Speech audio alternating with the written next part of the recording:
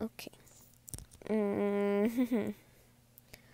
People have been asking me how I make Todoroki's hair in um, half and half.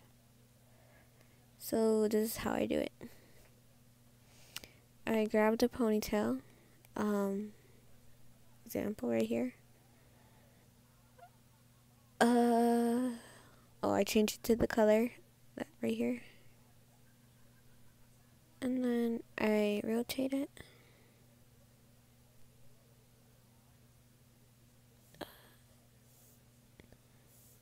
And then I pull it down over here. And I sort of get comfy. And then I grab the back hair. I move it and shrink it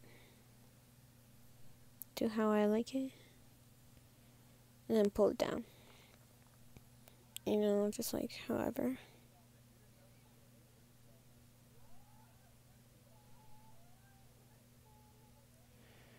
And voila.